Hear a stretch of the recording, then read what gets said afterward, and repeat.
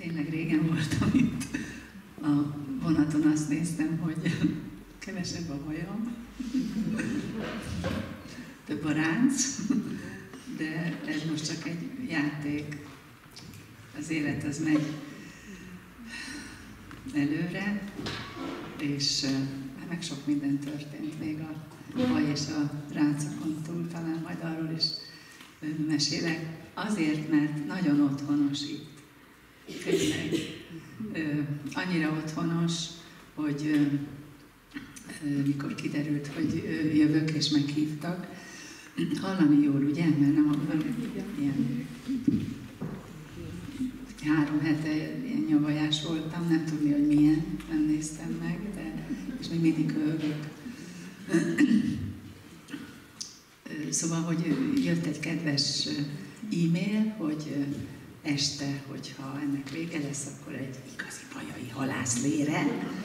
És én olyan gyáva voltam, hogy, hogy két napig gondolkoztam, és mondom, hát korán reggel indulok, mert máshonnan jöttem, még Pesten is kavartam egyet, és mondom, itt hatkor kezdünk, és este lesz, és Erzsike fáradt, akkor mondom, inkább ne haragudjanak, nem merem.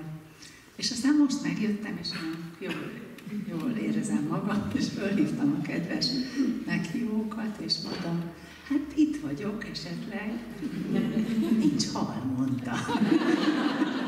De ezt én is viccként, viccként mondtam, mert tudtam, hogy a, a halászléhez is kell. Sok minden miatt otthonos baja, tényleg. Most spekuláltunk, hogy háromszor voltam, vagy négyszer, nem tudom, közben meg a Gemenc, Gemenci nagy riport után, vagyis közben is beugrottunk bajára. Nagyon szeretem a, sokat találkozom, beszélgetünk a, az Orsolyával, a Harber Orsival, aki érsek család ugyan, de, de nekem úgy mondta, hogy bajai vagyok. És, és amikor elmondtam egy Kókai Éva nevű Kanadából hazajött barátnőmnek, hogy bajára jövök. És azt mondja, mivel jössz? Na, a vonattal az a legjobb, mert akkor közben még sok kedves ismerős helyet itt érintettünk, vagy érintünk. Azt mondja, baja, hát minden gyerekkori nyaram baja volt. És menj el a piacra, ha tudsz, és vegyél egy lángost, és ha ne talántán van, van jutúród, úgy a hordóból, akkor azt kend rá, és gondolj rá. Úgyhogy nagyon sokan, sokan szeretik, és nem véletlenül. Az egyik kolléganőm is bajai kötődésű, egy fiatal Cili, horvát Cili mondta, hogy rengeteget volt, meg lesz, meg van baján. Na, úgyhogy köszönöm a meghívást, meg a kedves itt létüket. Mert ezt mindig mondom, a találkozás az, az nem csak az, hogy, hogy az ember ö, odaadja, itt van, eljön, hanem hát odaadja a, a figyelmével a, a lelkét is, tényleg. És ez, ez itt annyira igaz. Nem könnyű témát választottak, vagy legalábbis nekem nem könnyűt a kedves könyvtárosok. Az a, az a felvezető mondat, hogy vagy igazad van, vagy boldog vagy. Én bevallom, ezt nem, nem, nem, nem, hogy nem én találtam ki, hanem egyszer egy nagyon őszinte beszélgetést hallottam a, segíteni fognak, Jordán Tamás felesége volt színésznő Lázár Kati, Lázár Katival, és a Lázár Kati mondta, hogy valahol olvasta ezt a mondatot, és amióta ezt olvasta, és ez szerint próbál létezni, sokkal egyszerűbb az élet. Bár nem könnyű, mert a, föl kell adni nagy, nagyon sokat, de, de egy kicsit, kicsit szelidebb. És akkor én fölírtam ezt a, ezt a mondatot, és így próbálgattam. És rengeteg történet rímel rá, leginkább az embernek a saját történetei. Mert azt tudja pontosan megtapasztalni, és aztán, és aztán sok más is. Úgyhogy most nem szoktam ugyanilyen, Jesszuson fennhagytam. Nem, nem itt van.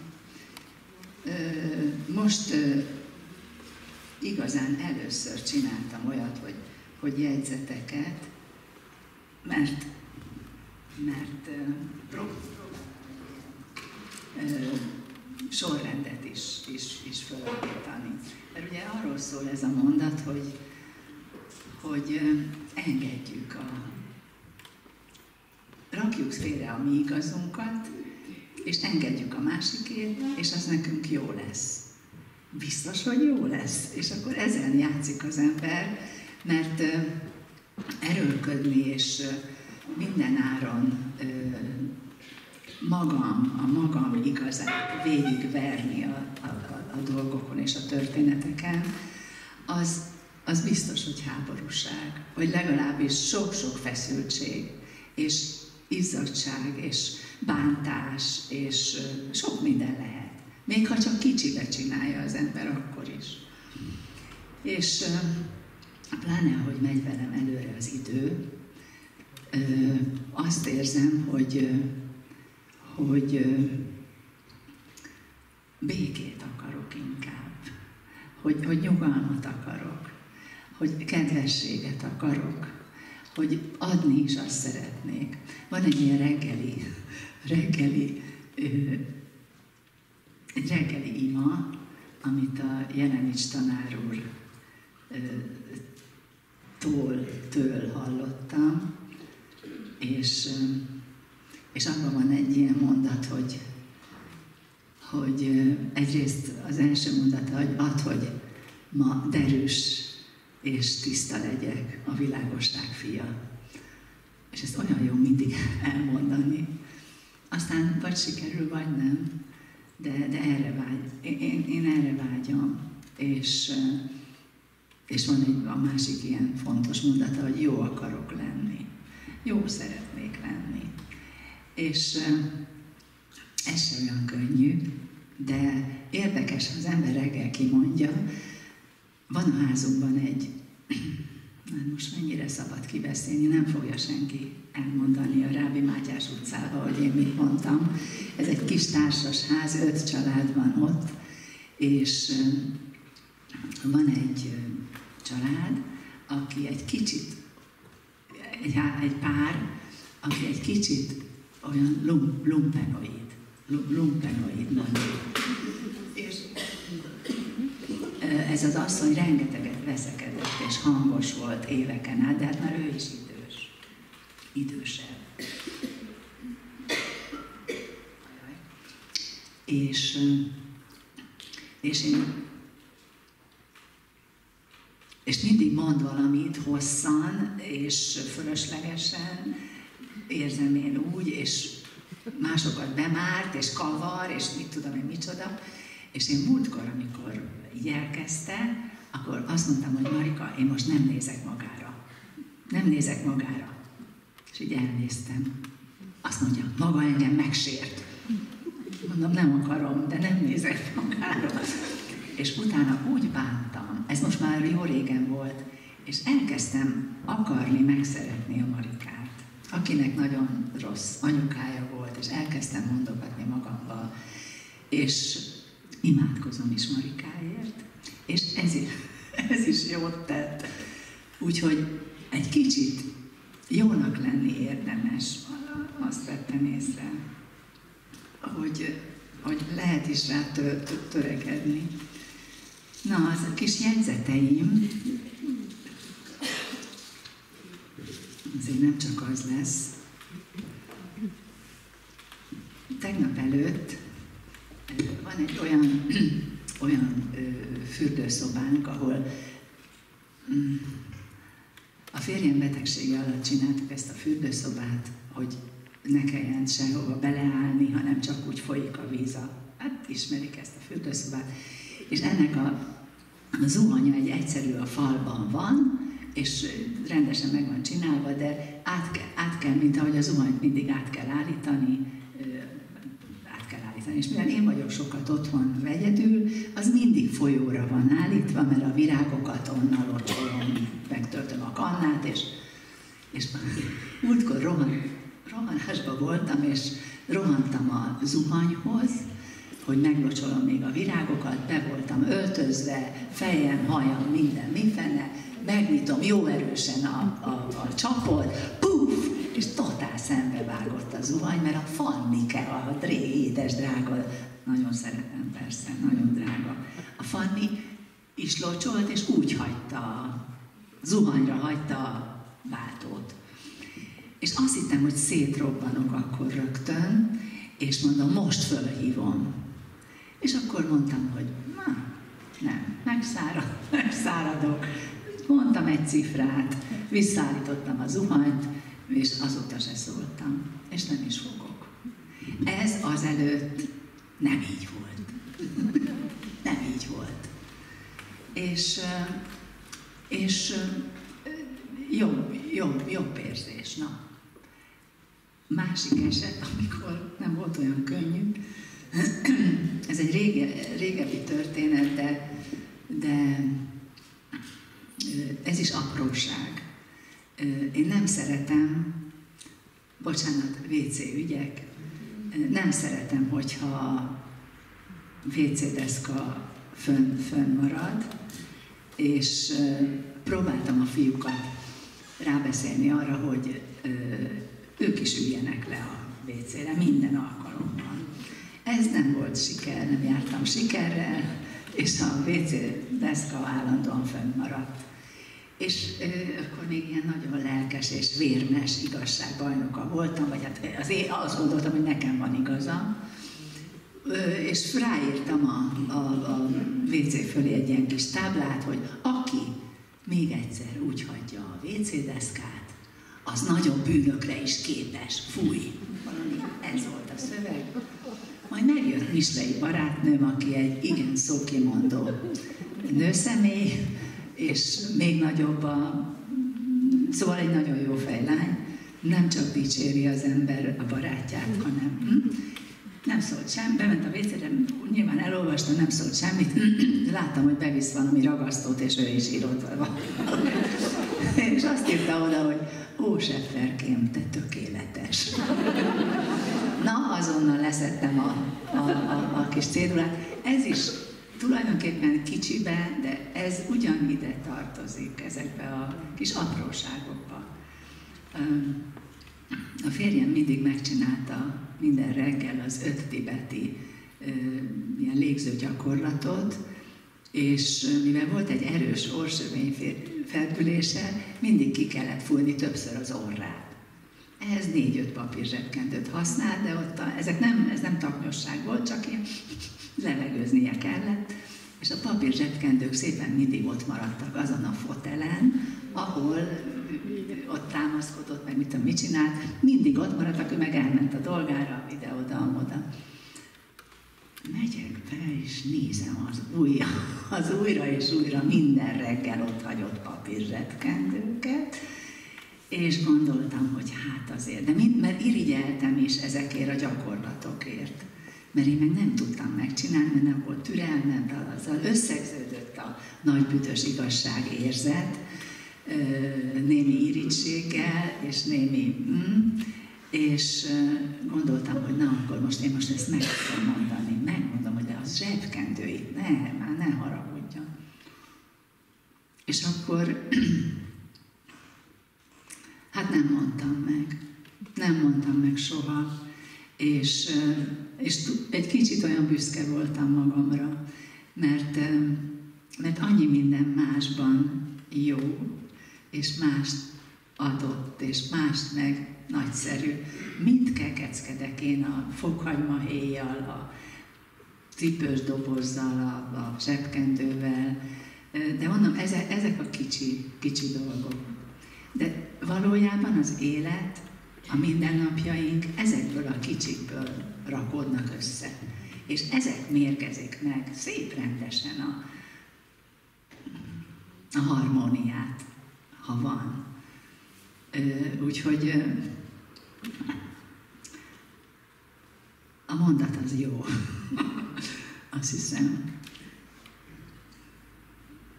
Ö, valószínűleg meg is tanulja egy kicsit az ember, hogy, hogy eleve nem akarom erővel érvényesíteni az igazamat.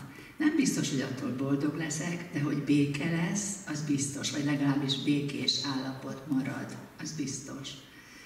És, és ez, ez, ez, ez megér annyit. A, hát egy karácsonyi történet az, az már egy összetettebb dolog volt.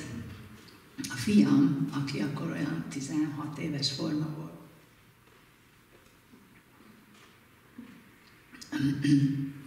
mi sokáig nagyon, nagyon szerényen, szerényen értünk, és nem szegényen mondjam, de szerényen, és ő akkor kapott egy igazi, egy igazi ö, márkás farmert. Mondom, 15-16 éves volt először, és írtó, várta, nagyon, nagyon, nagyon, nagyon, ez volt a vágya. És akkor még a nagyszülők is ott, ott voltak, a két nagymama, két nagymama még ott volt velünk karácsonykor, és az én anyukám egy ilyen harcos. Neki tényleg mindig igaza volt, igaz-igaz volt azt valóban, és azt meg is mondta. Utána nem, nem volt semmi baj, de ő megmondta, és kész, és hangosan mondta, és haragosan egy kicsit, és tu, tu, tu, tu, a másik nagymama pedig egy lágy volt. A másik nagymama kuplékat énekelt a gyerekekkel, ha nem volt fűtés, lerakta a dunyát a padlóra, és azon aludtak. Szóval ő egy, ő egy szabálytalan nagymama volt, az anyukám pedig egy ilyen poroszos, mondjuk így. És karácsony elénekeltük a mennyből az angyal, bocsánatot kértünk egymástól, megpuszítettük egymást, kocintottunk, és neki rohant a Marcia farmerjának. Megnézte, ú, anyukám a következő mondata volt, jó lesz, de hosszú, mondta így. Jó lesz, de hosszú. Tényleg hosszú volt. Azt mondja Marci, mama, mama vart föl, légy szíves. Mondta Marcikám, meg karácsony este van és nálunk mindig a varrógépre hozta a Jézuska a karácsonyfát, ami ilyenkor le, le volt hajtva, és azon volt, leterítettük, és ott volt. Mondom, Marcikám, a varrógép is ott van alatta, ne haragudj, ez.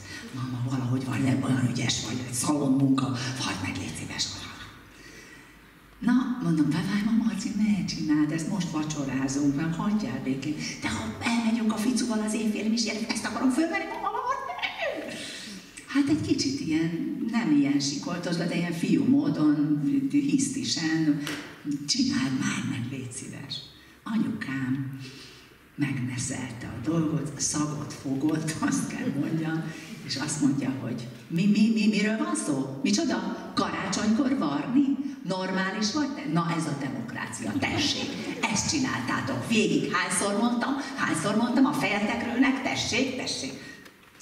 Mondom, Marci, könyörgöm, már annyira ideges lettem az anyutól, hogy már meg akartam én varni azt a farmert. De hát lett egy rossz ízű, nem veszekedő, csak egy ilyen mm, vacsora. A Marci fölment duzzogni utána a szobájába, bevágta az ajtót, anyukám újra, tessék, karácsony, miért kell mindent elrontani, mondta. És akkor a Marcia szem el is ment, és akkor visszajött, bocsánatot kért, a másik nagymama, de Margitkám, hát hagyd, hát a szeretet ünnepe, hát ő ajándéka, hát nem. És akkor úgy végig gondoltam, másnap persze megvartam kézzel a farmet, és akkor úgy arra gondoltam, hogy mi is, miért is nem azt csináltam, hogy azt mondtam, hogy mama, Semmi baj, játszunk egyet karácsony este. Játszok egy olyat, hogy megvarom. Hát mi történik? Tudom, hogy igaza van neki is, igen, de mégis azt hiszem most a mai fejemmel megvarnám. Kisimogatnám az anyukámat, biztos, hogy nem veszekednék vele. Egész biztos, hogy ma már nem mondanék semmi bölcsességnek ható hülyeséget. Nem, mond, nem bántanám meg, azt mondanám, hogy igazad van. Talán az ölébe ülnék, talán mit tudom én, elvarázsolnám, és azt mondanám, hogy gyerekek, megesszük a halászlét, és utána megvarom ezt a gyönyörű szép farmert, és vonulatsz, marcikám. Azt hiszem, hogy, azt hiszem, hogy így csinálnám. De hát ehhez valószínűleg év, évtizedek kellenek, vagy nem tudom. De jobb, ha az ember előbb. És nem biztos, hogy szervilisnek kell lenni, és mindent megengedőnek ehhez, azt hiszem. Valami, valami arányt persze tart az ember, de, de volt például még ezt a történetet.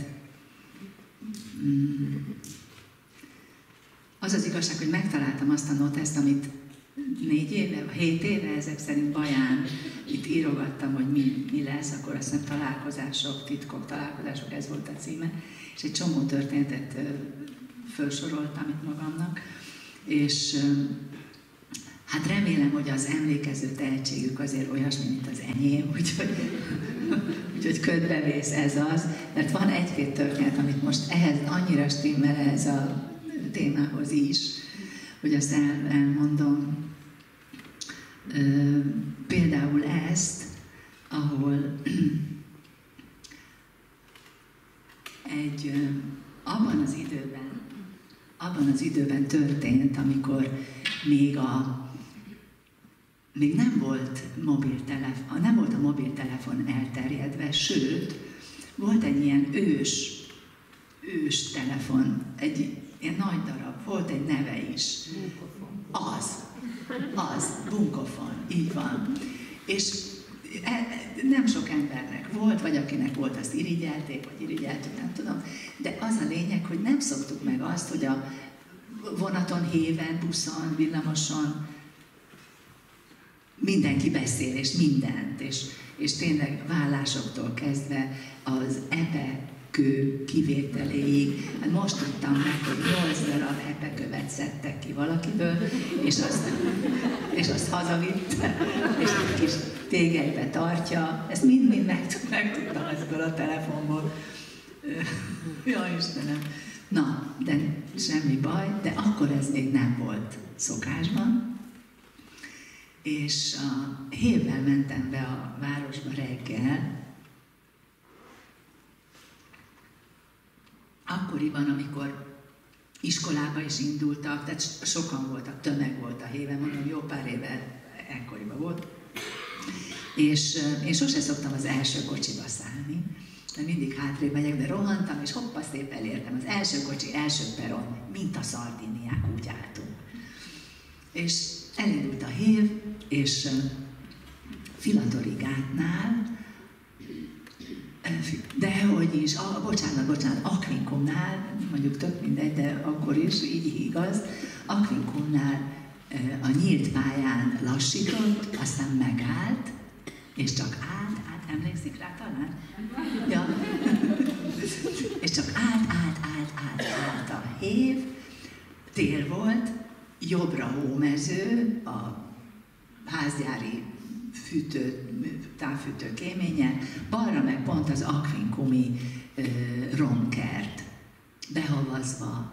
Amúgy szép, szép volt, csak nem reggel fél nyolckor állni ott, és, és mindenki elkezdett. Tehát még akkor mindenki friss, jó szagú, indul, minden rendben van, és úgy elkezdett pozsogni a kocsi, hogy most akkor mi van, hol miért állunk, hogy mi, bá, és akkor ekkor ö, megszólalt valakinek a zsebébe egy telefon, állati hangos csöngéssel, de így oda kapta mindenki a fejét valóban, és mellettem kettővel ott állt egy, hát, egy tahó fiatalember. Egy olyan tényleg tahó kinézetű is volt, de hát az is volt, kivette a, kivette a telefonját, és hát ki kéne mondani, de nem mondom ki ezen a helyen, meg egyáltalán B betűvel kezdődik. rövid és meg a vége. Ezt körülbelül 10-15-ször egyfolytában nem érek oda, mm, meg. Nem megyek, nem áll ez a. És most mindegyik kéne fütyülni ezt a beszédet, mert káromkodva hangosan elmondta, hogy nem érek oda a Soroksári útra. Nem érted meg? Te! Hol vagy? Itt állunk. Szóval így, így levezette ezt a beszélgetést, és mindenki behúzta fülét, farkát, de tényleg ott álltunk és néztük meg. Magas is volt, hangos is volt, beterítette a, ezt az első kocsit. Hm? Valahogy lerakta egy utolsó ilyen meggel, és ott állt. És ekkor, mintha, mintha komponálva lett volna ez a reggel, megszólalt a hangos bemondón a vezető. Udvariasan, bocsánat kérem, tényleg egy férfi hang volt, nagyon rendes, elnézést kérek, vezetékszakadás van. Itt állunk a, a nyílt pályán, nem tudom kinyitni az ajtókat. Bocsánatot kérek, hogy mennyi idő lesz? Hát 15-20 perc. Elnézést. Nagyon sok reggel, de ilyen nagyon helyes férfi volt, aki ezt így ellenezgette. Mindenki egy kicsit, hát nem, is nyugodott meg, de hm. bánatosan hallgattunk. És ekkor mondom, ilyen rendező, rend, valaki rendezett, és akkor ott a negyed, egy, kettő, harmadik négyes ülésről egy, egy idős néni, de nem egy 60-as, 70-es, egy jó 80-as, édes, az a, az a régi vágású, aki tipek, topog, gyors, intéz mindent, ez a fajta néni volt, egy kis horgolt csapka volt a fején, emlékszem, mosolygott, és így, mint az iskolában jelentkezett, e felé a fiatalember felé, és a következőt mondta, kedves fiatalember azzal a telefonnal, segítsen nekem, az unokáimra megyek vigyázni. Én már öreg mama vagyok, de én sose kések. Segítsen nekem, oda kell szólni, nem mernek a szülők elmenni. És így mondta, mondta, fiatalember elővette a telefonját, így, mint a gyémántot, így kézről kézre odaadták a nénihez. Valaki nyilván bepötyögte a számot, mert a néni úgy emlékszem a mozdulatra, a kis horgolcsapkát így föltolta a telefont, és azt mondta ilyen tágra nyílt szemekkel. Én vagyok cicám, a nagymama késni fogok, áll a hév. Ez borzasztó, de menjetek el nyugodtan, 15-20 perc. És akkor nyilván megkérdeztek, hogy honnan beszélsz, nagymama? Ó, a hévről van itt egy édes, drága fiatal ember. Ővé a telefon, hát ide adta nekem, akkor a szíve van. Most ezeket mind mondtam, körülbelül így mulatott a közönség. A fiatal ember meg ott mondom, ott állt mellett, ezzel a így körülbelül. Tényleg édes, drága volt. És ez a nagy büdös igazság, hogy mi ott vagyunk bezárva a hémbe. Nekünk van igazunk, hogy ez a fiú csúnyán beszél, és fúj. És a néni meg többet tudott ennél. Szóval, hogy, hogy átfordult az egész egy ilyen játékká, és mindenki jó lett. És ilyen lazán megvártuk akkor ezt a 15 percet, ami tényleg annyi volt, és mindenki boldogan ment a, a dolgára. És azt hiszem, mert ezeket a helyzeteket én nagyon szeretem figyelni, meg egy kicsit így boncolgatni, hogy mi, mi történik ilyenkor tulajdonképpen. Valószínűleg nem sok történik, csak a játék, a játék segítségével leszünk belátóbbak a játék segítségével elsöpri a bennünk a, a, a, a, ezeket a háborgásokat, meg ezt-azt. Mert ha lát az ember ma reggel, azért kellett korán kelnem, megmondom őszintén, körülbelül 15 centire le volt nőve a hajam, és lefestette. És ezért olyan nyolckor már ott vonultam valami utcán, és egy fiatal asszony tolt egy kisbabát. Egy olyan gyönyörű kis baba volt, de írtó gyorsan tolta, velem szembe jöttek. És, és mondom, jaj, de édes. És akkor visszaszólt. Mondom, álljon már meg egy picit. Azt mondja, de miért? Hát mondom, még megnézném. Aztán szívesen, és visszatolatott, visszacurukkolt a járdán. És ez is olyan jó volt. De én erre nem készülök, csak jó voltam reggelbe ez a, ez a kép. Amúgy is egy gyerektől az ember. Annyi minden van most, hogy aminek lehet örülni, annak muszáj, muszáj örülni. Na, hogy most ezt a reggel csak beszúrtam, de nem tudom, hogy miért. igen, hogy, hogy, hogy úgy próbálom figyelgetni, hogy mi, mi mitől van, vagy mi mitől működik, vagy nem működik. és ehhez a történethez fölírtam egy, egy másikat, ami nagyon érdekes, nekem nagyon érdekes volt. Egy kis ö, lepukkant állomáson álltam, este volt.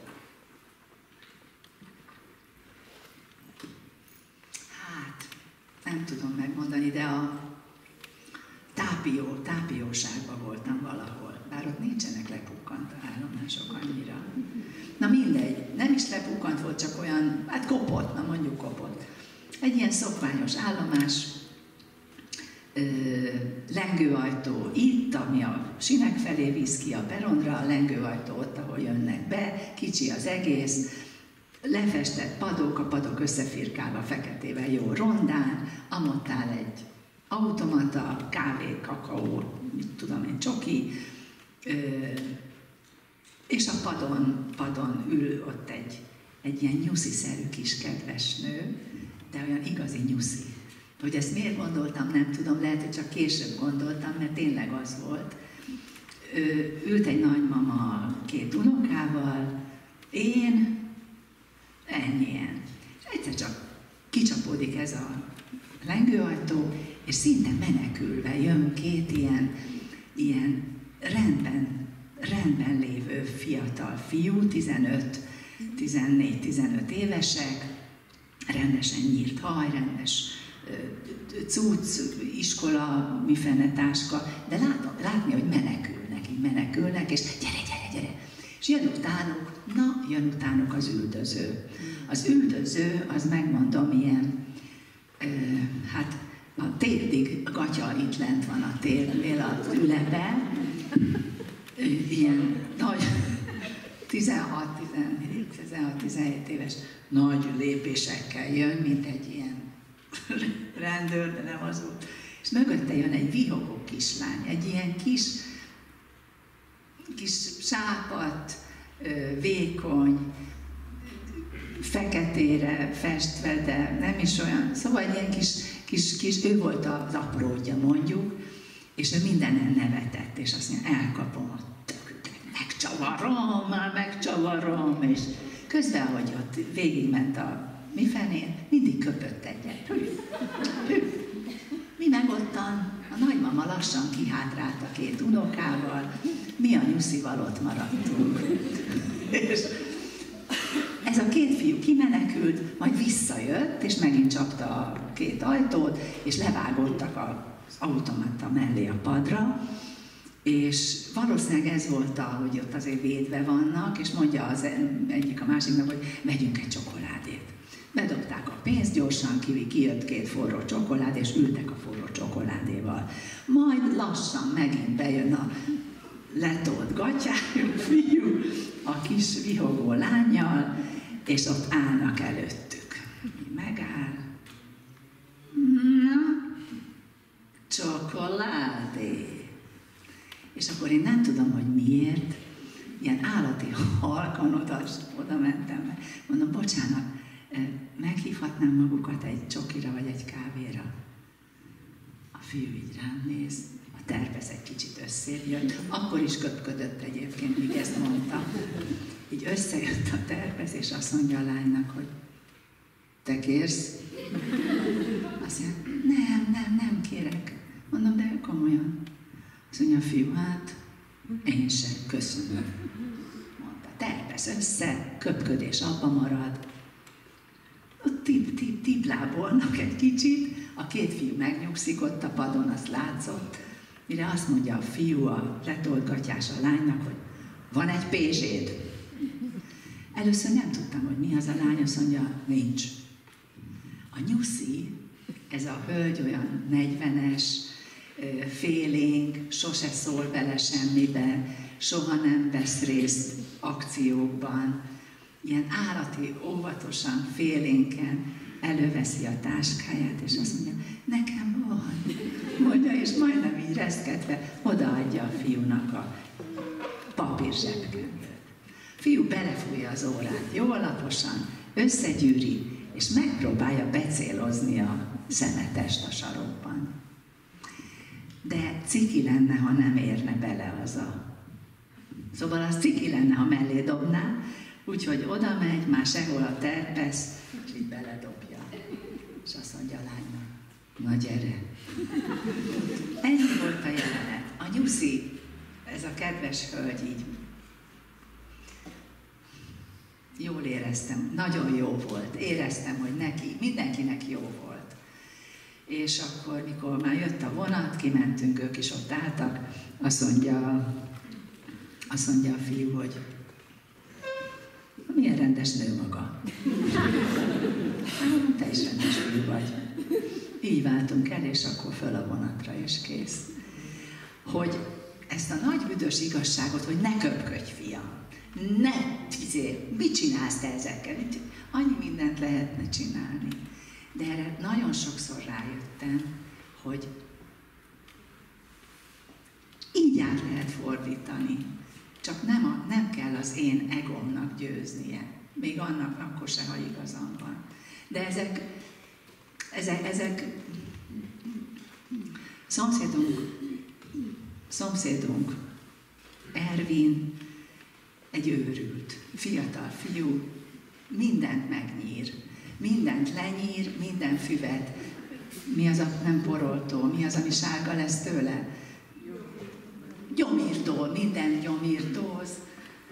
És egyszer mondtam, hogy Ervin, a mi kerítésünkön belül ne gyomírtóz, mert úgy gyomírtózott, hogy minden ottan, még 3-30 centire sárga volt. És egyszer csak látom, hogy az anyukám ültette öreg borokka fenyőt, átnyúlt a kerítésen, Arany János fülemüle, átnyúlt a kerítésen és levágta, de olyan csúnyán, hogy teljesen kiszáradt összemről. És még a nyírfák is, meg mindent. Hát írtam egy levelet, kedves Feri, Ervin, apukája Feri, és az volt a tragédia, hogy akkor volt beteg, és meg is halt. Ez egy nagyon-nagyon rendes apuka. Mindegy, írtam a levelet, és, és írtam a levelet. És feszült maradt a viszony köztünk. Én ezt utálom, a feszült viszonyt, semmire nem jó. Jött egy lehetőség, valami kandaló betétet cipeltünk ki az autóhoz, hogy belerakjuk, de kivel voltam, nem tudom, ketten voltunk, nem bírtuk el, épp jött Ervin ki a kapun. Mondom, Ervin, az Isten áldjon meg, segíts már nekünk. Az Ervin boldogan segített, ő volt a győztes, hogy kisegít, ő volt a megmentő, ő volt egyen fölöttem, értik, értik.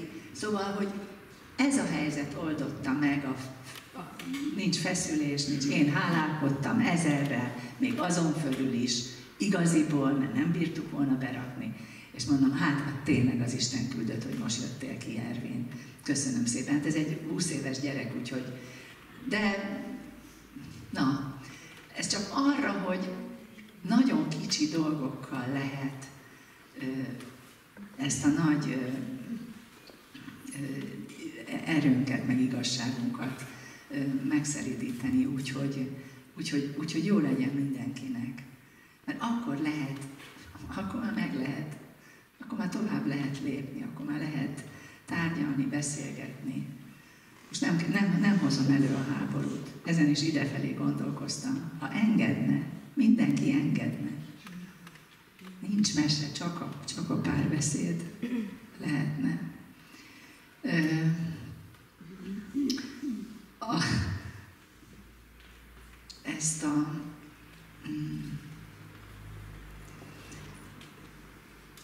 igen, hogy nincs, nincs bennünk csak azért is. Tehát ezek nagyjából ugyanazok, ugyanolyan történetek. Nem tudom, hogy nem, nem, nem látták-e véletlenül a Szalontüdő című kisfilmet. Látta valaki? Igen, igen. Ha, azt hiszem, ha beüti az ember a YouTube, YouTube-ra vagy hova, kijön egy nagyon, nagyon helyesen megcsinált. Igazából el sem mondom, mert jobb megnézni. Szalontüdő. Nekem kedvencem, nagyon kevés helyen lehet már kapni, és én meg nem, nem csináltam még életemben, sajnos pedig nagyon szeretjük. Van, aki tudja csinálni? Ó, igen. De nem sokan, igen, mert valahogy, na, szóval, hogy nézzék meg, ez áttételesen szól ugyanerről. Lehetne ott is az asztalt verni, de hát nagyon, nagyon szám. Tényleg inkább nem mondom el, ha nem baj, nem mondom el? Mondjam el? Nem, nem, jobb, jobb megnézni, szalontüdő. Semmi, akarnak tíz jó percet, csak ennyi. Igaz, nem több, tíz perc talán. És ennek a, a, a paralelje tulajdonképpen ezt lehet, hogy elmondtam, mert mivel négyszer voltam már, ki van zárva, hogy én ezt nem, nem meséltem el, de ez is, ez is tulajdonképpen erről szól.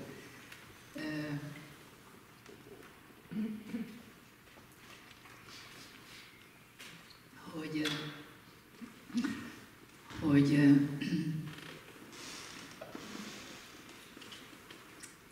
fiatal voltam, 20 éves, tényleg ilyen nagyon, nagyon ifjonc, és, és emlékszem, hogy az, ha elmondtam, elnézést kérek, de hát ha elfelejtették, meg egyáltalán.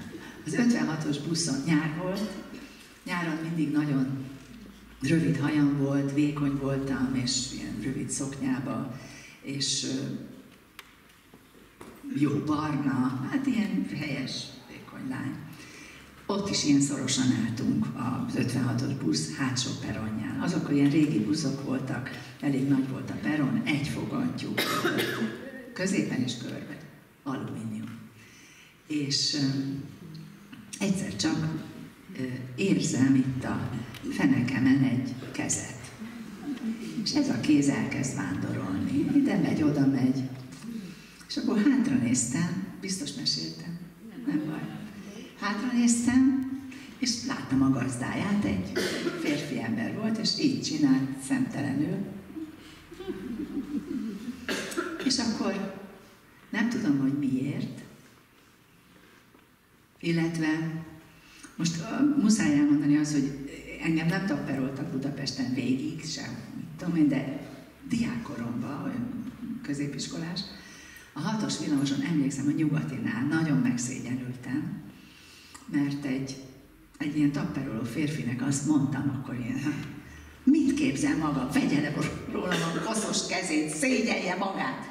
És a fickónak volt lélek jelenléte, és azt mondta, hogy te csúf béka. Így kezdesz ki rendes emberekkel? Na húzzál le a villamosról. Na én úgy lehúztam a villamosról. És, és akkor ott az 56-os peronján meglátva ezt a kedves urat, egyszer csak így hátrafordultam, és ezt csináltam, hogy és vissza. Hátra néztem a fickó. És a kezét elvette. És, és akkor azt gondoltam, hogy milyen egyszerű. Hogy én őt nem szégyenítettem meg, magammal nem szúrtam ki.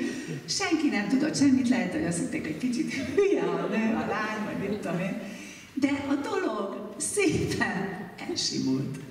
Szóval, hogy, hogy egyszer a szerkesztőségben volt valami nagy, nagy vita, de ilyen kiabálós, még, még akkor a, a fenyő, fenyő nagyon tud, fenyő János volt a tulajdonos, és nagyon tudott kiabálni.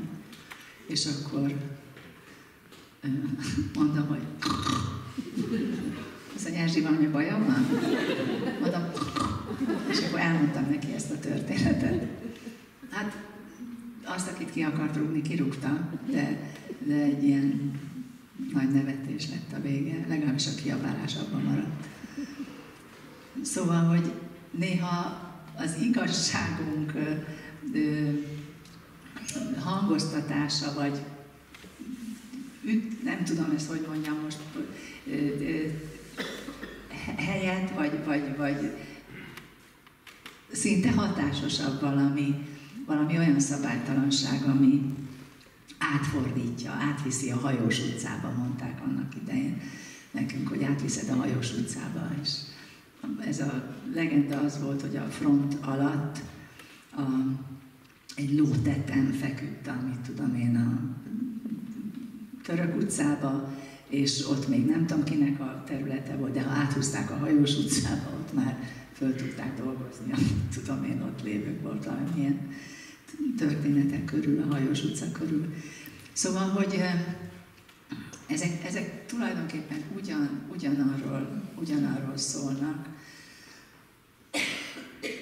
hogy az embernek van egy, egy, egy belső meggyőződése, határozott, biztos, tudása, véleménye, ami nem biztos, hogy hajaz a másikéval. És akkor az nagy kérdés, hogy azt mikor kell megvívni valamiért, vagy mikor lehet elengedni. De, de több technika van.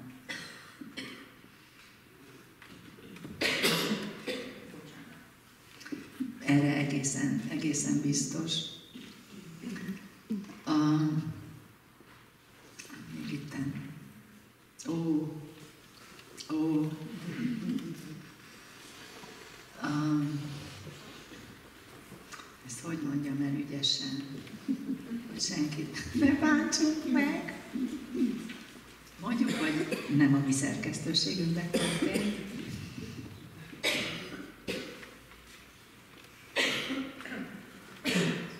Valami, valami egészen más helyen, de kiderült, hogy, a, hogy az egyik, hogy valaki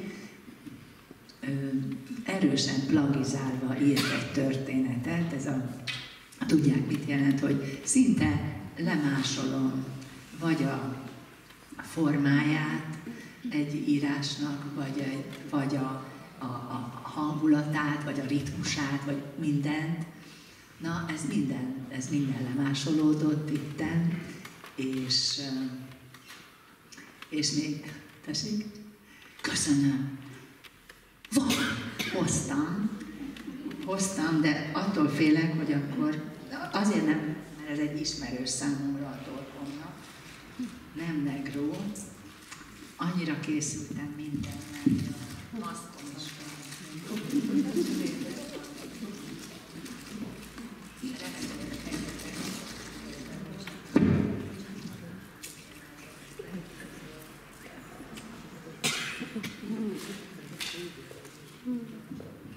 Szóval, hogy nekem nagyon csípte a szememet ez a nyilvánvaló plagizálás, mert ismertem az eredeti művet is, amit nagyon szerettem, nagyon.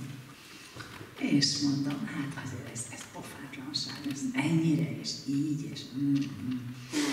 És úgy mondod, ja, és néhány olvasó nekem írt, hogy ez nem egy kicsit hasonlít erre, az, arra, az, de mit gondol róla? Nem, mit gondoljak, nem gondolok semmit.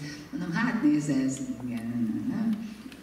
De azért a, simogatta a, a, a bögyömet, hogy na, más is, más is észrevette, nem csak én. És gondoltam, hogy szólok. Hogy, hogy, hogy, hogy, hogy szólok, ez régen. És aztán végig gondoltam, hogy mi lesz annak a következménye, ha szólok. Sértődés egy életre, ö, igazi bántás. Hát most akkor mi van? Igazam van, igen, tudja, hogy igazam van, de mit érek el vele? A mű már megszületett, ö, aki észrevette, észrevette, aki nem vette észre, nem vette észre. Mit érek én el vele? Mit? Legfeljebb azt, hogy azt mond, nem érek el vele semmi. Tényleg, csak a, csak a feszültség és a, és a bántás lesz, és a megsértődés, és, a, és az örök harag. Úgyhogy most kiéltem magam, hogy elmondtam. De nem, nem, nem, nem. Azt hiszem, nem. Valami nagy horderejű dolog, biztos, rengeteg ilyen van, nagyon sokan, és másolnak meg ismételnek, meg mit tudom én, festményeket is, festményeket is mit csinálnak, hamisítanak. Úgyhogy semmi gond ezzel. De ezek érdekesek, hogy le kellett, le kellett a, a nyilvánvaló igazamat és a, ezt az érzésemet győzni, hogy a fenébe. Szóval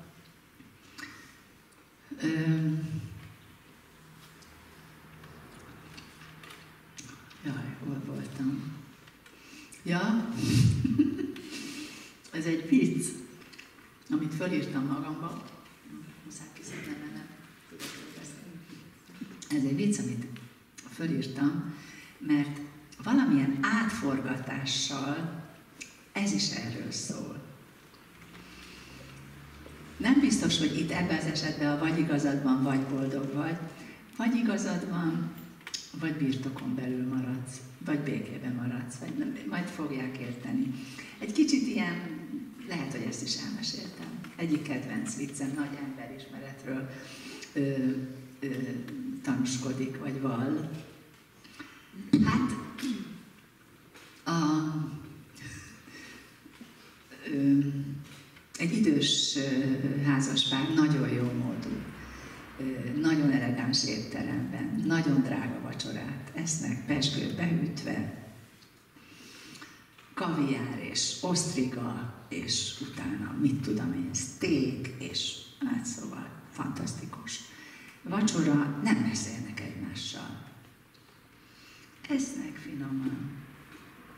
Majd egyszer csak nyílik az ajtó, és belében egy ilyen dögös, 20 éves, vörös hajú nő, hosszú combokkal, elmegy mellettük, észreveszi a férfit, hello, oda megy, megöleli és szájon csókolja.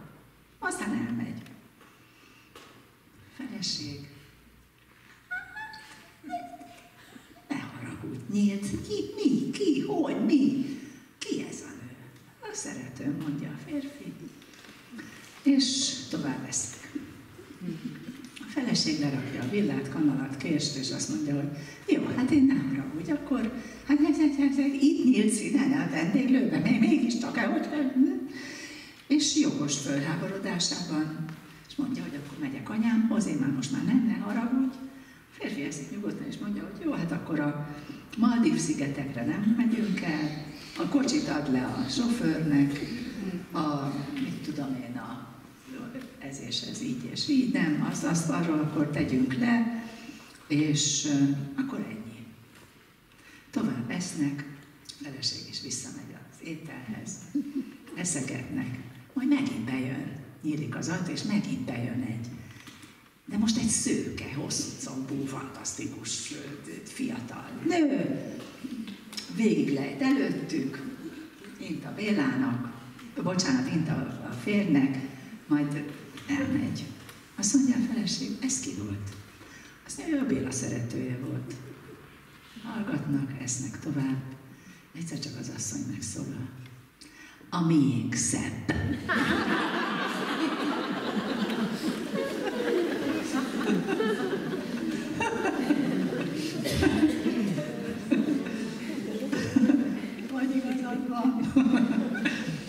Szóval, hogy nagyon sokat nevettem ezen a viccen.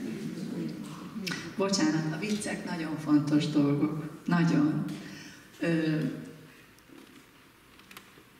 nem csak azért, mert, mert borítanak egyet a szabályokon, mert, mert, mert hát főleg mert nevetést ö, csiholnak elő, de közben pedig a fonákját megmutatják, és ez fontos Fontos, hogy az ember, aki mindig, mindig egy az egybe látja magát, egy az egybe akarja tudni magát, egy az egybe akar rendben lenni.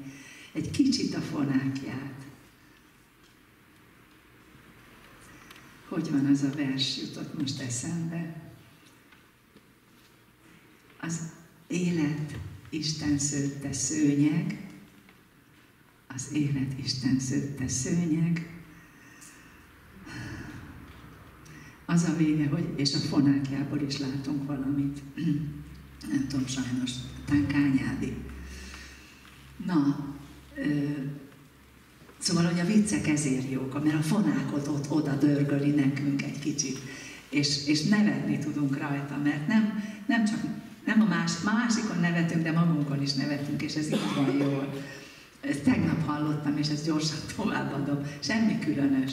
A Churchill, állítólag igaz történet, a Churchill egy nagy beszédet tart, és ugye ő nagyon szellemes és, és jól beszélő, rögtönző ember volt, ezt tudott, és hát akkoriban nem nagyon szerette az, az, az akkori szüfrazsett mozgalom, ezek a akkori feministák, igen, és beszél, és mondja, és ott elsősorban ott van egy ilyen lelkes, feminista, szüfrazsett kisasszony, és fölszól, és azt mondja, hogy miniszterelnök úr, ha az én férjem ilyen lenne, mint ön, és így beszélne, mint ön, mérget kevernék az italába. Churchill megnézi a hölgyet, és azt mondja, ha nekem ilyen feleségem lenne, mint ön, meginnám.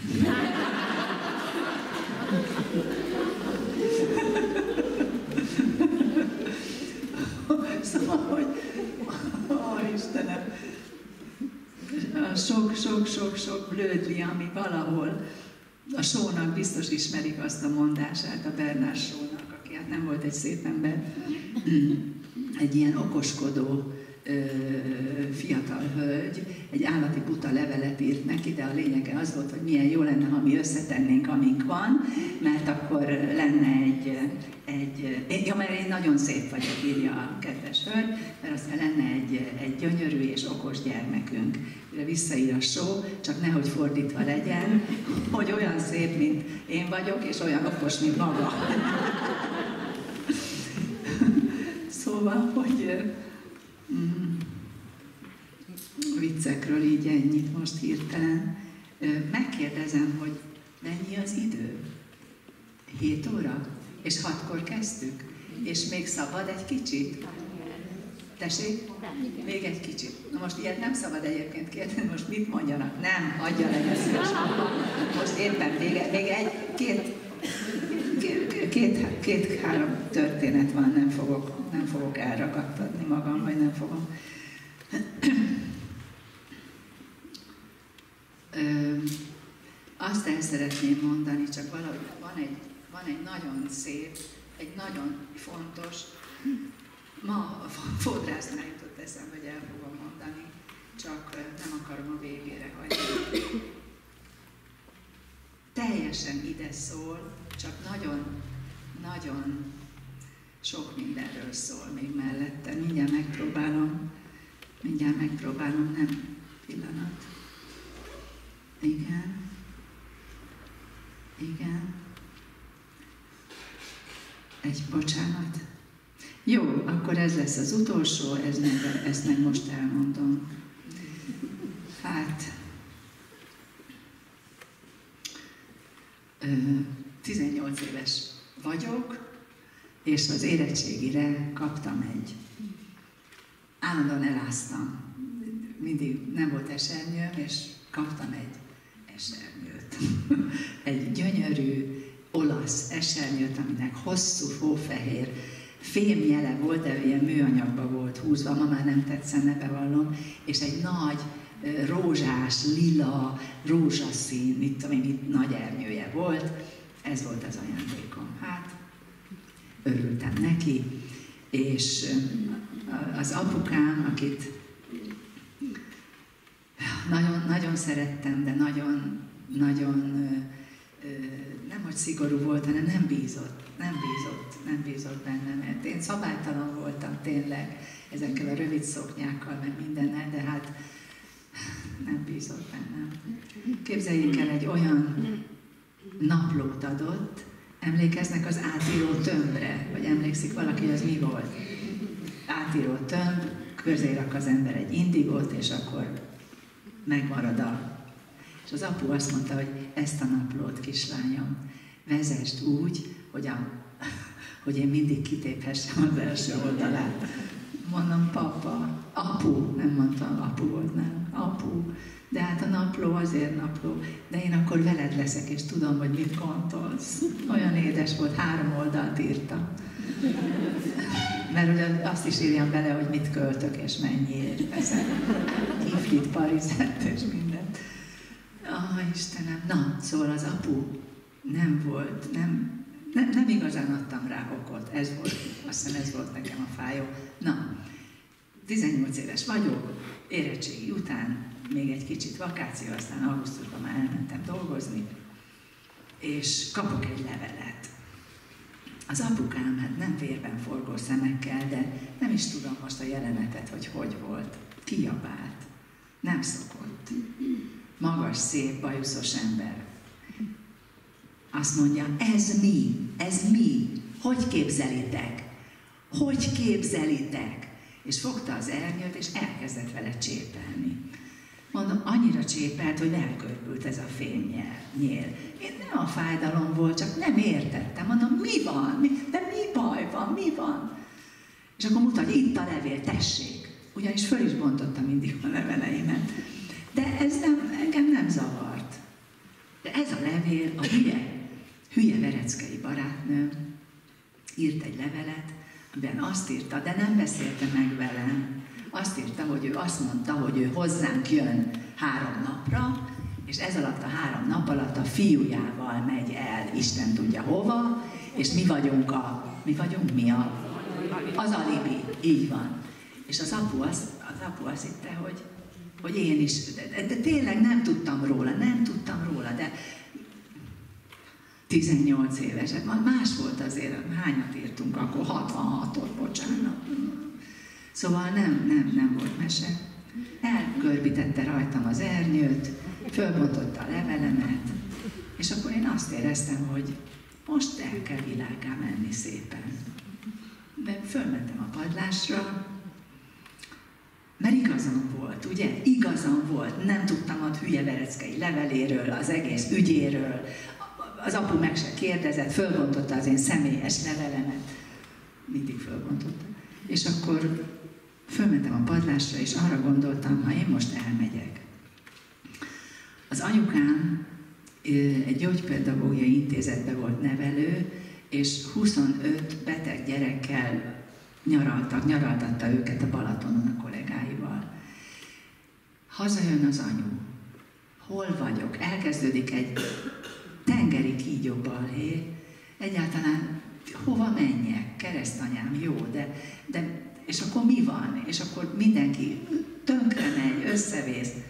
És a padláson eldöntöttem, hogy nem. Nem megyek én sehova. Majd kiforja magát. De nem szóltam az apuhoz, ő se szólt hozzám. Most azon gondolkozom, hogy lehet, hogy 66-ban volt olimpia. Nem tudom most hirtelen. Nem volt. Nem volt? Akkor valamilyen, nem tudom én, akkor volt el, friss a televíziónk, mert valamit néztünk együtt de ilyen sportközvetítésszerűt. Tessék? Az lehet. 66-ban, hát nem tudom. Bocsánatot kérek. Csak azért, mert én ezeket sose tudom, hogy kicsoda. Haló?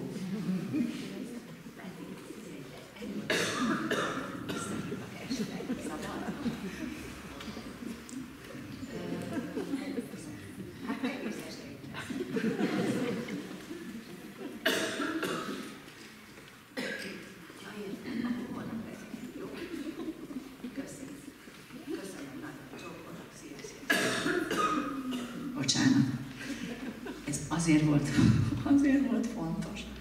A Rózsa Péter biogazdát ismerik, vagy valaki ismerik, nem, vagy Balmazújvároson. Hát, van még cukorka?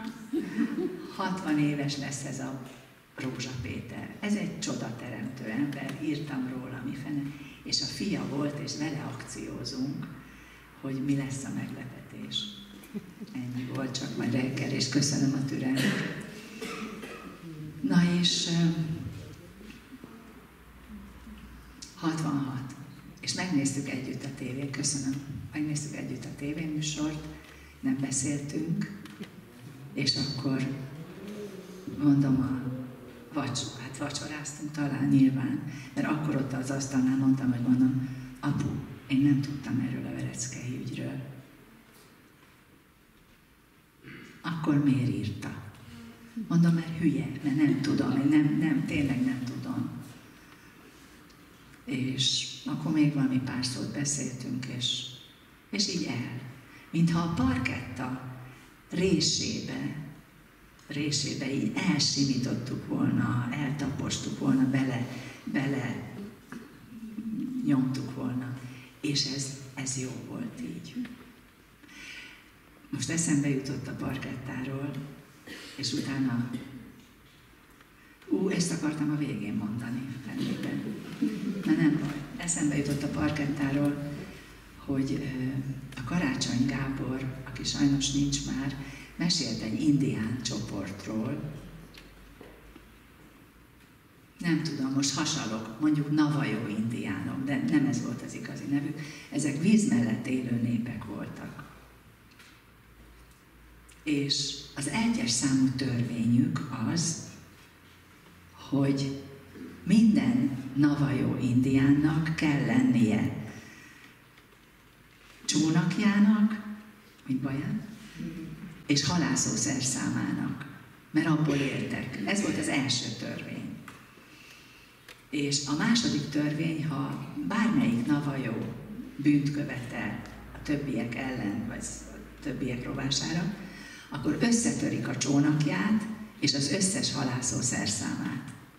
De ebben a pillanatban életbe lép az egyes számú törvény, hogy minden navajónak kell lennie csónakjának és halászó szerszámának. És az egész törzs őrült módon elkezd gyártani egy újabb csónakot a navajónak, hogy legyen meg szerszámot. A navajó ettől úgy bűnös, úgy meghatódik, hogy elkezd ajándékokat adni a törzsnek, kvázi bocsánatot kérni, kvázi. Na, és ezt a vagy igazad van, vagy boldog, vagy így intézik el.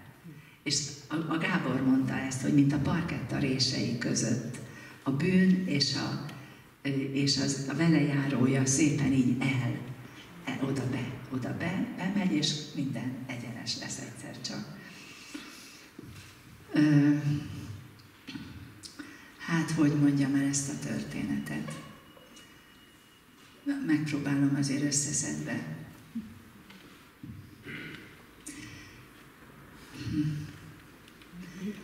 A saját történet. A Fanni lányom Dániában összebarátkozott egy litván kislányjal, Dóvilével. Nagyon megszerették egymást. Különös, különös lány volt, ö, nagyon érzékeny, nagyon lelki, nagyon kedves, sportos, kung fu, anyám kínja, minden mellett. És ezek az északiak, litvánok lettek, finnek, ők nagy rajongói az őseiknek és az ősi, nem csak a hagyománynak, hanem az ősi kultúrának, neveknek, stb. Ilyen volt a Dóvile is. És uh, sokszor volt nálunk. Uh, sokszor. Uh, és legutoljára, legutoljára hét évvel ezelőtt. És hét évvel ezelőtt decemberben írt egy levelet, hogy öt napon van, és azt gondoltam, hogy muszáj látni benneteket, muszáj, muszáj, muszáj. Eljövök egy gyors repülővel, és vissza is megyek karácsonyra. És és eljött, és akkor volt egy könyvbemutatóm. Már éppen oda érkezett, és a Fannival jöttek erre a könyvbemutatóra. A férjem, ahogy szokta, ott tette, vette a kiflit, pálinkát, bort, amit ott szoktam vinni. Nagyon jó hangulatú volt, ennyien voltunk, vagy még ennyien, még nagyon jó volt.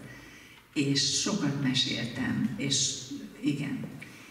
És, és akkor a, a, a Dovile meg a Fanny elmentek a városba, de előtte odajött és mondta angolul, de valaki lefordította, hogy, hogy annyira jó itt veletek, és én nekem valami dolgom van Magyarországon, vagy itt megyek férjhez, vagy itt fogok dolgozni, vagy valahogy itt maradok.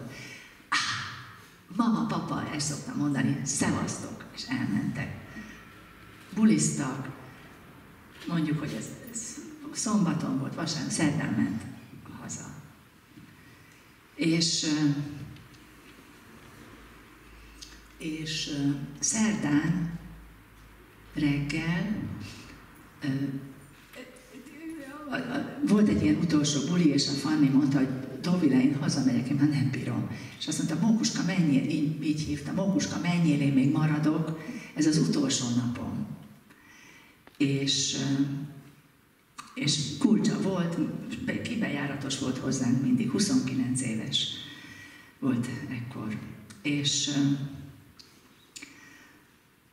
Reggel a Fanny kell föl, keresi, nincs, nem jött meg, biztos a barátoknál alszik, fölhívta őket, sehol nincs. És a férjem aznap hajnalban kiment egy kis faluba, ahol a szüleim házát raktuk rendbe, hogy megnézze, hogy a víz nem fagyott-e meg.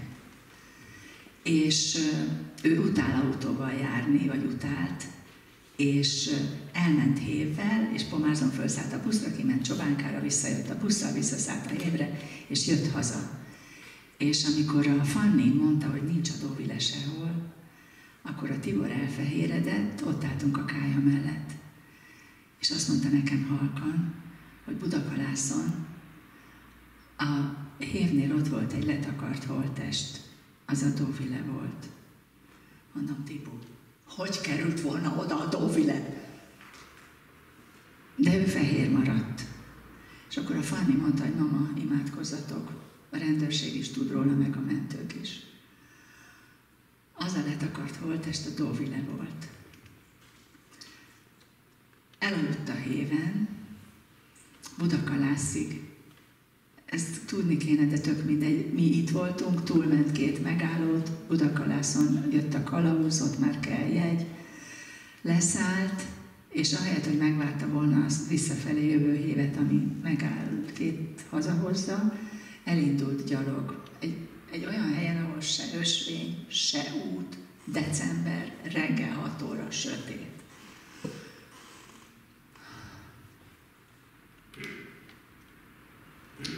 És a Fanny, hát gondolhatják, ott voltunk készen. De nem az, hogy mi készen, hanem a szülei, a nővére. Fanny vele beszélt, és azt kérték, hogy segítsünk, hogy hazavihessék karácsonyig. Négy nap volt. És sikerült. Őrületesen sokan segítettek, de nem ez a lényeg. Mi a kertbe gyújtottuk a gyertyákat és sírtunk, ők meg eltemették karácsony előtt a dolvilét.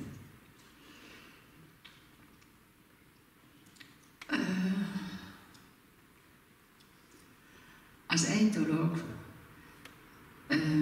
a férjem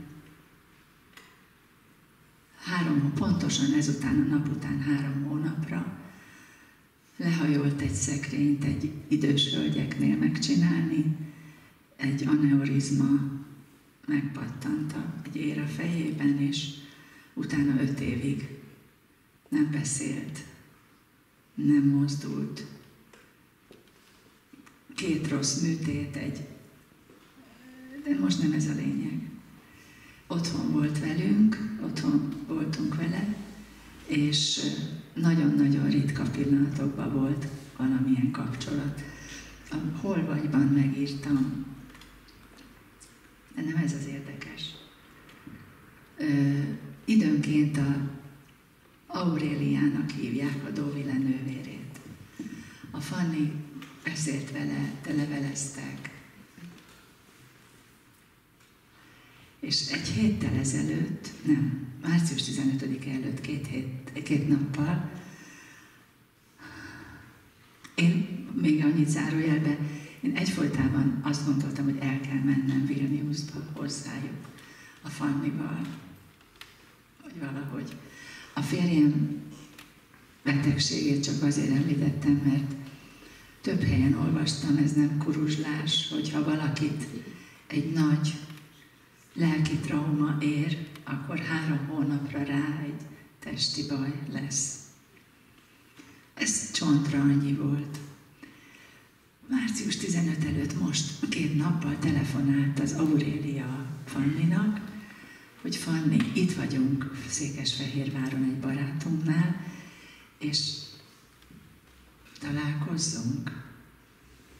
És a Fanni azt mondta, hogy igen, igen. És valami presszóba.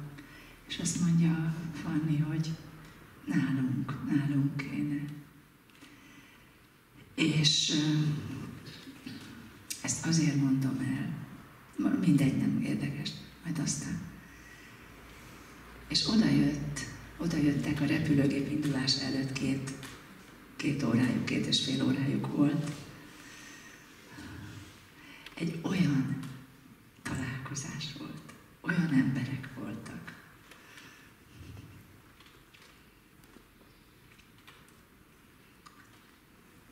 Az egy dolog, hogy gyász van, hogy sírtunk, hogy felidéztük az emlékeket, hogy a Fanni visszaadta a Dovile igazolványát, ami nála maradt.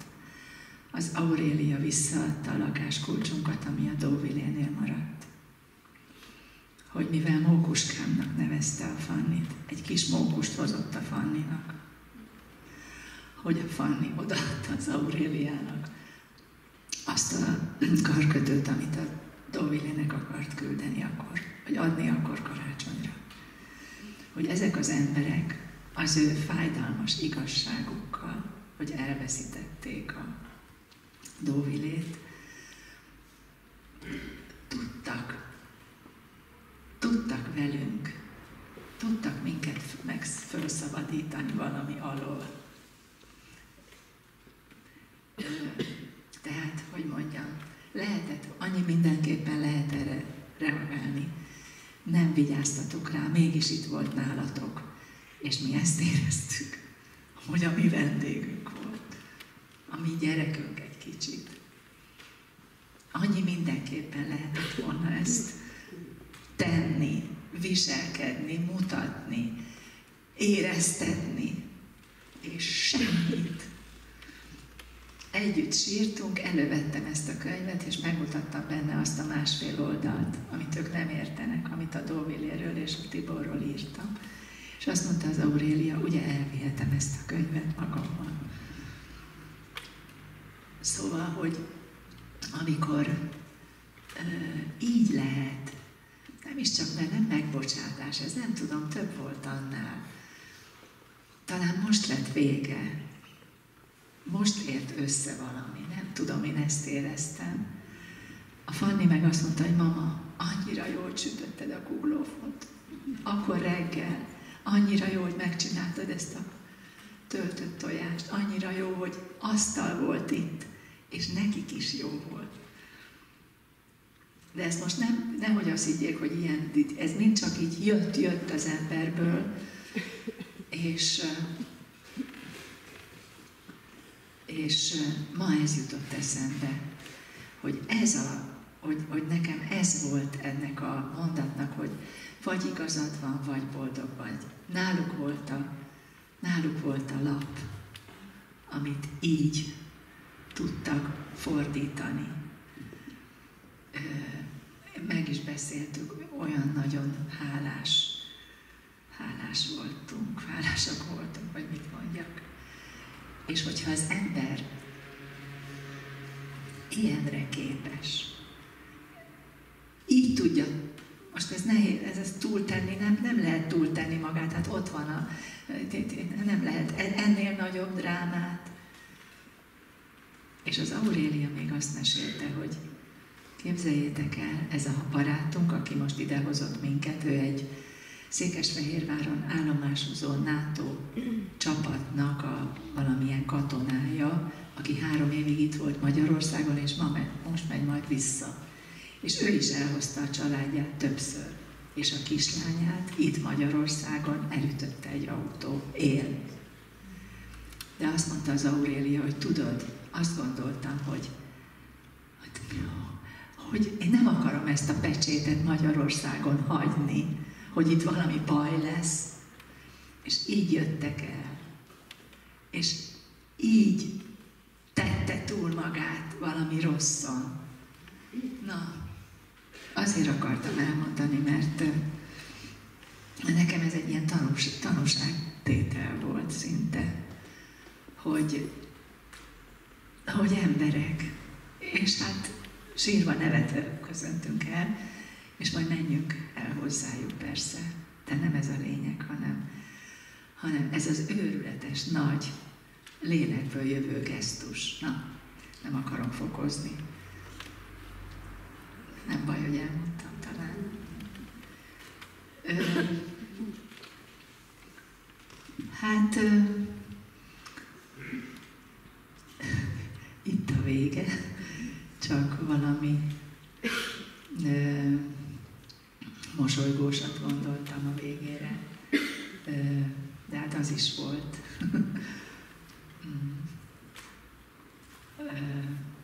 az egy kedvenc történetem, amit hát vagy elmeséltem, vagy nem, nem tudom, de ehhez az egész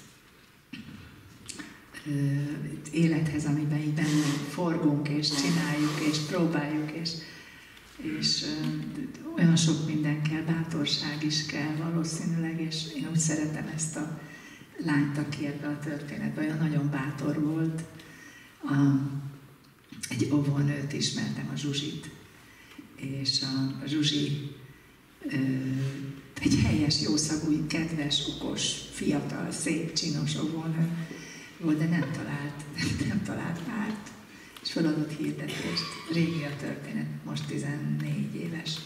Feladott hirdetést, elmondta, hogy ő kicsoda, kit szeretne, miért gondol, hogy szeretné, és aláírta, hogy kalandorok kíméljenek, és föladta. És 280 valahány levelet kapott. Na, Zsuzsi, mit csináltál? Aztán kivettem két hét szabadság. Szortíroztam, ide raktam, oda raktam, és mondom, hányat választottál? Hármat, borzalom. De aztán majd belehaltam, és akkor az elsővel egy vendéglőben találkoztak, egy humoros, jó, jópofa fickó volt, aki beszélgettek.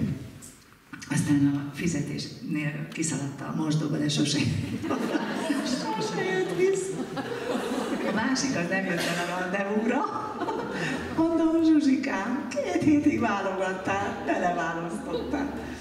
Na és a harmadikkal egy cukrászdába találkoztak, és mondja, hogy utólag mesélte a Zsuzsi, hogy tudod, minden jó volt az öltözéke, a hangja, a tónusa, a készfogása, ahogy beszélt, az értékeink, olyan nagy, azt mondottam, hogy édes jó Istenem, csak ő legyen.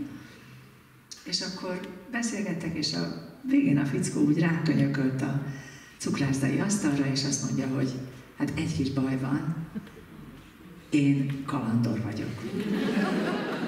Azt mondja a Zsuzsi, tudod, becsuktam a szemem, aztán kinyitottam, és azt mondtam, nem baj. és van négy gyerekük, és jól vannak. És hogy gondoltam, hogy, hogy ez legyen a vége, akkor sem, ha nem stimmel, a, ha igazad van, vagy boldog vagy. Úgyhogy legyen igazunk, de legyenek boldogok. És legyenek békések. És úgyis azok. Nagyon szépen köszönöm, hogy itt voltak és hogy meghallgattak. Ez, ezt én nem tolakodásból hoztam, hogyha úgy esik, úgy esik, ha nem, akkor viszont tovább. Nagyon szépen köszönöm, és Isten áldja meg mindannyiukat. Szépen